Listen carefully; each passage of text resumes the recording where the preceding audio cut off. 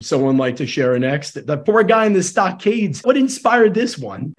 I feel like there's uh, there can be organizations. You know, there's a high failure rate in innovation. I, a lot of ideas don't work, and organizations wanting to improve their hit rate, they'll often focus on the previous failures, and it can sometimes send a an effect that will just clamp down on anybody being comfortable sharing their their ideas in an organization. One early example to me when I, I worked for a snack food or a large food company, and they had a snack food that failed. Uh, the snack food brand was called Wahoo's. I, I remember this really distinctly because it launched when I was an intern and then it failed. And then I later joined the company and everybody would talk about, oh, we don't want another Wahoo's. And it became this joke about the Wahoo's hangover. And I feel like a lot of organizations, whatever they have, there's something that didn't work a few years before that everyone brings up, like, we don't want to do that again. But the effect of that public uh, punishment almost is that it, it keeps people from really feeling comfortable being creative and, and coming up with new ideas.